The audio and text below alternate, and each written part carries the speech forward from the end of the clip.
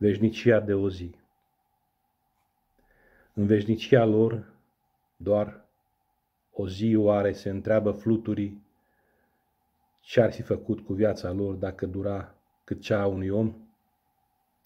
În veșnicia lor de doar o clipă, oare se întreabă pe sub stele ce-ar fi făcut cu o singură aripă în toate versurile mele? În veșnicia lor cât o secundă Oare se întreabă printre șoapte ce-ar fi făcut în rol de omidă în fiecare noapte? Măicuța și Paștele Mirosind a pâine în fiecare dimineață, ca în zodia mea de vers, între tine și mine și univers, apoi mirosind a primăvară, cu lacrimi de descânt, aducându-mi liniștea despre toate nefericirile de pe pământ deschizând ușa bisericii cu rugăciunea, cu rugăciunea în minte, plecând de acasă, ne duceai mereu spre starea cea mai blândă.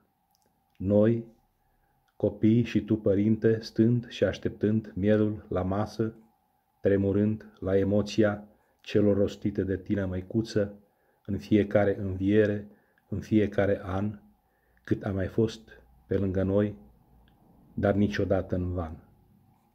Apoi, mirosind a amintire, mai lăsat rătăcind printre stări întortocheate, haotice, spre nemurire.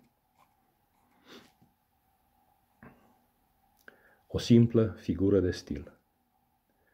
Petale multicolore ce ne acoperă trupurile dezgolite și ne transformă pe rând în iubit și iubită, până ce transpirația inconfundabilă ne lasă lipiți de pajiște, asemenea unui pastel înrămat și nedefinit, până în amurg când apusul se afundă între sânii tăi și mă lasă să ghicesc momentul răsăritului de a doua zi.